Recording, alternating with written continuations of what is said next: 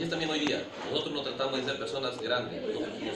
a nosotros no nos importa lo que diga la gente de, nosotros mismos. Nuestro nombre, no, nuestro nombre no significa nada. Es más bien su nombre. Nuestra vida no es nada, es su vida, es su poder. No es el poder nuestro. Si hay una sola cosa que amamos, eso es verlo a Él glorificado. ¿Y cómo puede ser glorificado? Cuando Él sea glorificado en nosotros por medio de su resurrección la cual está en nosotros. Lo vemos representado de nuevo hoy, como fue allá. ¿Entendieron eso? Nuestro deseo no es recibir gloria, no es el recibir gloria. Nuestro deseo no es de ser un hombre grande. Nuestro deseo no es el de respaldar a una iglesia ni engrandecer la escuela dominical de nadie, ni la de traer a la fuerza a la gente y amarrarla, ofreciendo alimento gratis y toda clase de prendas y premios y toda cosa. Ese no es nuestro deseo. Nuestro deseo es el de verlo a Él glorificado. Pero glorificado de qué manera? No con fuerza propia. Eh, no con fuerza propia, sino más bien Él en nosotros, en nuestras vidas, para así probar que Él en verdad vive y vive en nosotros. Si yo quiero, si yo puedo, si yo puedo quitarme a mí mismo del camino, para que no se note ni se piense en William Branca, y también con usted, que ni se piense en usted, entonces así podemos ver a Jesús glorificado entre nosotros. Esas son las cosas claras. Por eso digo, desde una cosa que tenemos que lograr de lavarnos, de no meter al hombre en el cuadro. Porque a veces nosotros, nosotros, nosotros queremos, ¿no? Como, queremos, pues, hermano, queremos un, eh, un, pastor, siempre estar ahí con él, hablando. Inconscientemente estás queriendo al hombre, ¿no? Que, que te esté pues ayudando y la que viene de Dios. El hombre nada más es un don que hoy está, mañana no está. Y Dios siempre proveerá dones para ayudarte. ¿Sí? Siempre. Pero eh, no, no puedes permitir que el hombre sea más importante que la palabra de Dios. El principal que tú necesitas es la palabra de Dios. ¿Sí? A eso Dios te proveerá dones, pero ya no lo colocarás como indispensable. Porque la gente dice, hermano, pero y, y, por y si no, el pastor, y de repente por ahí quieres ir hasta sitio o algo. Al primero que hay que recurrir es a Dios. Al primero que hay que recurrir es a la palabra de Dios. Lo siguiente, ya podemos consultar si cualquier hermano. ¿sí? Porque Moisés dijo primero, consultan a Dios. Si no puede, aquí tienen estos 70 ancianos. Y si ya no pudieran ir lo último, ya bueno, yo de repente pudiera ayudarlos, ¿no? o podríamos orar. Entonces, pero el problema es que a veces nosotros queremos este, meter al hombre en el cuadro. Y por lo tanto, si se olvidaran de mí, y se olvidaran también de usted, ahí veríamos a Jesús glorificado. Porque la gente dependería más de la palabra de Dios que del hombre. Ese es el secreto. Es el secreto. Y, eso es lo que Dios quiere ver y eso es lo que Dios le gusta. Entonces eso, eso hemos trabajado. Y bueno, de hecho los poderosos son más. Por eso dice, si yo puedo quitarme a mí mismo del camino, para que no se note ni piense en William Branham, y también con usted, que ni se piense en usted, entonces sí podemos ver a Jesús glorificado entre nosotros, porque nuestro deseo es de verle a Él, y eso es lo que Él nos da, y eso es lo que nosotros nos da el poder vivificador. Mire cómo, el poder de Dios va a venir, pero bajo ciertas condiciones. Bajo ciertas condiciones. Que no metamos al hombre en el cuadro por más que sea el profeta por más que sea cualquier predicador, cualquier hombre. Por eso el don es saber hacerse de lado, es trabajar para que la gente no dependa de él. ¿Sí? Enseñar que la gente dependa principalmente de la palabra de Dios. Entonces, alrededor de la palabra de Dios, Dios va a tener pues, muchos hermanos, hermanas, predicadores, lo que sea, para ayudarlo.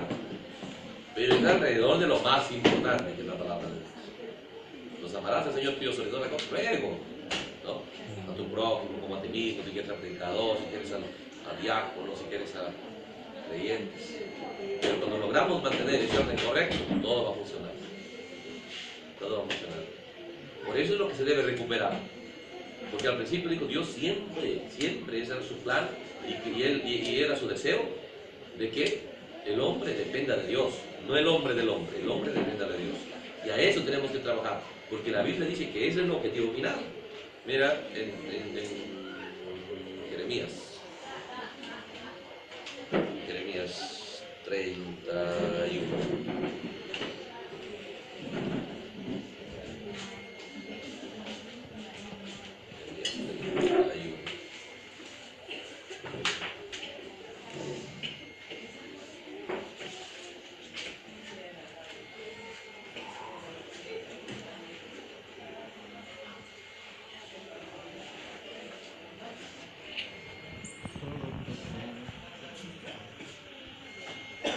Dice el verso 31, 31, 31. He aquí, vienen días, dice Jehová, en el cual haré nuevo pacto con la casa de Israel y con la casa de Judá. Porque el pacto antiguo era que dependía del sacerdocio. Pero va a ser un nuevo pacto. No como el pacto que hice con nuestros padres el día que los tomé de la mano para sacarlos de la tierra de Egipto. Porque ellos se validaron mi pacto aunque fui como un marido para ellos, dice Jehová. Pero este es el pacto que haré con la casa de Israel después de aquellos días. Dice Jehová, daré mi ley en su mente y la escribiré en su corazón. Entonces yo seré a ellos por Dios y ellos me serán por pueblo. Mira. ¿cuál será el resultado? Y no enseñará, cuando yo haga eso, dice, ya no enseñará más ninguno a su prójimo, ni ninguno a su hermano, diciendo, conoce a Jehová, porque todos me conocerán, desde el más pequeño de ellos hasta el más grande, dice Jehová. ¿Cuál es el plan de Dios? Que toditos solo dependan de Él. Si ninguno, oye, yo no quiero ser predicador, sí, gracias, pero ya, ya llegué ya, ya llegué al máximo nivel. Por eso la predicación y todo ello es un medio que no siempre va a estar, que un día va a dejar de ser. ¿Por qué dice? Porque todos llegarán todos, por eso es el ministerio que tiene que trabajar para eso. Que todos lleguen a la unidad de la fe, al conocimiento, como Dios para perfecto. Entonces ahí dice, ninguno enseñará, ni hasta el más pequeño, todos me conocerán a mí. A eso debe llegar. Ese es el objetivo final de Dios. Pero hay que empezarlo ya, pues, ¿no? Poquito a poquito. Cada día ir el hombre, porque al final el protagonismo del hombre va a ir desapareciendo.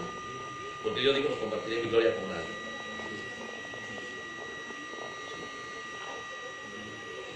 Ese es el plan de Dios final.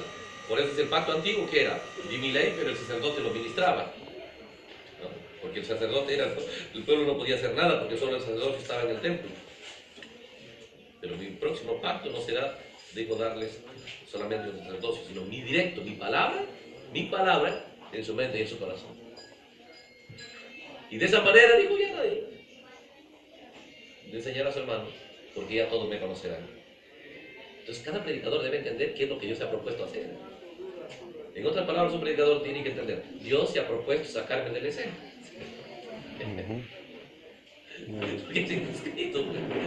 Entonces nada más vamos a trabajar, aprovechar bien, mientras todavía se pueda trabajar, pero va a llegar el momento del creyente, va a ir creciendo tanto. Por eso cuando dice la Biblia que todos los que vendrán a Sion, no solo va a ser uno, sino todos serán tus edificadores. Entonces la gente no dirá, no, el pastor, no, no, no, cada uno dirá, yo también tengo que edificar, también tengo que trabajar. Entonces, Por eso que, la gente que se venga al rato es gente muy capaz en la palabra de Dios. Entonces, sí es posible, sino que muchos todavía no avanzamos por causa de que todavía no nos hemos soltado del entendimiento equivocado de colocar la importancia del hombre más alto que la importancia de la palabra de Dios. ¿Sí? Porque tú vas a cualquier religión y dices, no, está bien la palabra, pero el pastor. Pero en cambio, ¿qué dice? Está bien el pastor, pero indispensable la palabra. Ese es lo correcto. La palabra de Dios sobre todas las cosas. Alrededor de eso, bien un predicador, bien. Porque ya también vas a saber si está bien o no, tiene que estar de acuerdo con la palabra de Dios. Entonces eso es lo, lo, indispensable, eso es lo que realmente necesitamos. Porque cómo salir, ha salido por ahí la, lo de que, hay otro mensajero basándose en que no necesitamos un profeta vivo. Como el profeta hermano Braja ya murió, necesitamos un profeta vivo. Por lo tanto, aquí está el octavo ángel, aquí está esto, lo otro. Yo digo, pero si, si realmente necesitamos un, el plan de Dios es que necesitamos un profeta vivo, el más, el más necesario lo tendríamos que tener vivo aquí a Jesucristo, ¿no? Pero ¿cuál es el plan de Dios? ¿Qué le dijo Abraham a los, a los que estaban en el infierno? Tienen, dijo, tus hermanos que todavía no han muerto, tienen a Moisés y a los profetas. Y eso no tenían sus escritos. Entonces, no es la persona, porque Jesús mismo, cuando lo quisieron honrar, dijo, yo nada hablo por mí mismo. Oye, ¿cómo sabe tanto sin haber estudiado? No, dijo, yo no tengo mi propio mensaje. Ni él permitió honra. Ni él. Y el profeta dijo, ni él, estando en la carne, debió permitir honra. La honra siempre debe ser más alta para Dios. Como él estaba en carne y la gente lo miraba como un predicador, dijo, no, no, esperen, esperen. Mi doctrina no es mía, sino del que me envió. Entonces, ni Jesús lo permitió, ni el hermano Braga lo permitió, ¿qué nos podemos creer nosotros, hermano? Pablo tampoco lo permitió. Pablo, mira, cuando quisieron decir, ¿qué dijo él?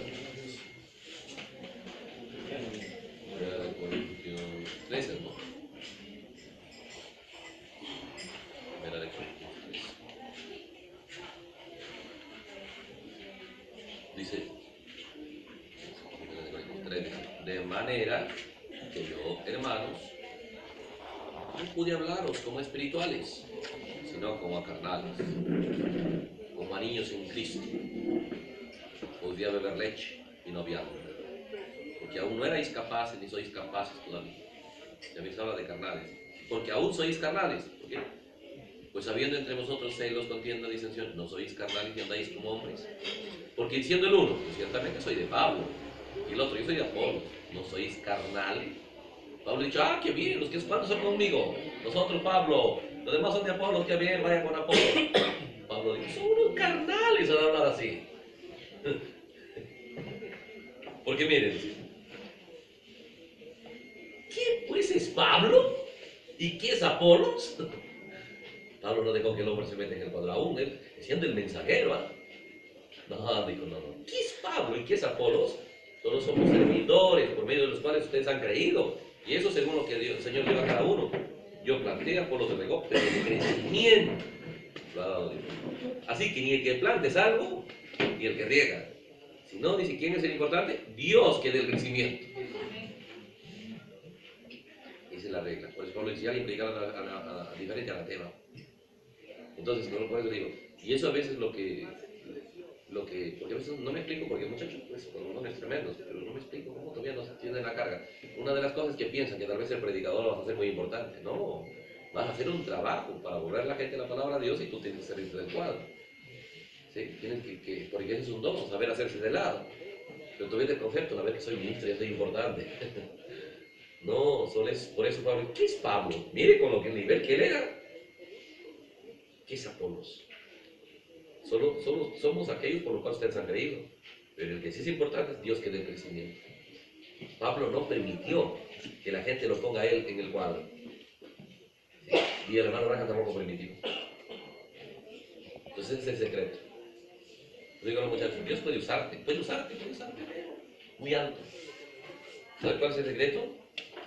Nunca te vayas a quedar tú en, la, en, la, en, la, escena, nunca te metas en el protagonismo, no te metas en el cuadro. Siempre coloca la palabra de Dios y salte. Porque ese es el secreto. Le va bien a la gente y también te va bien a ti como predicador. Porque estás haciendo lo que Dios le agrada. Y como dijo Josué Caleb, si agradamos a Él, todo enemigo será como comer pan. Entonces es la regla. Es diferente pues, a lo que la gente entiende, ¿no? La denominación, ¿no? Que hay presbítero, iglesia romana, el sacerdote, el papa. Pero es lo glorioso. Por eso le digo, nosotros podemos honrarnos unos a otros, apreciar al hermano, sí, pero hay que vigilar que nuestro peso y nuestra atención no vaya a ser más alto que a la palabra de Dios. Entonces no está mal, sí, no está mal. Piensa, ¿cómo puede estar mal un aprecio a un hermano? ¿Cuándo? Sí puede estar mal. ¿Cuándo? Cuando eso es más alto que la palabra de Dios. Entonces, si yo me doy cuenta que estoy apreciando a los hermanos, voy a hacer algo para atender a los hermanos, ¿no? Y automáticamente tengo que vigilar que también estoy creciendo en la palabra de Dios. No voy a hacer nada más, estoy creciendo en atender a los hermanos y no en la palabra de Dios. Ahí llega a ser hermano. Algo que parece tan bueno.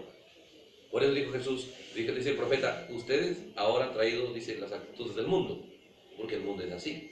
¿A dónde más va a honrar el mundo? Porque dice, oye, tú, tú ganaste el campeonato, tú ganaste el primer puesto, tú ganaste las elecciones, toda la honra es para el hombre, las honras del mundo son nosotros.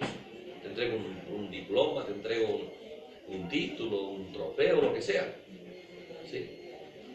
Pero en este caso dice, no, ningún trofeo para un predicador, todo, todo para Dios.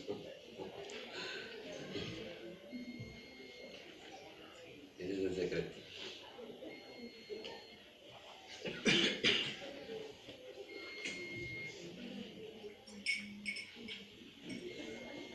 Pues es glorioso cuando el creyente también entiende que todos, todos, nadie va a enseñar toda la vida. Yo no, no voy a estar dependiendo de Dios, no tengo que llegar a la misma capacidad. Entonces él también va a hacer su esfuerzo a trabajar, porque toda la vida no, no va a ser predicadores.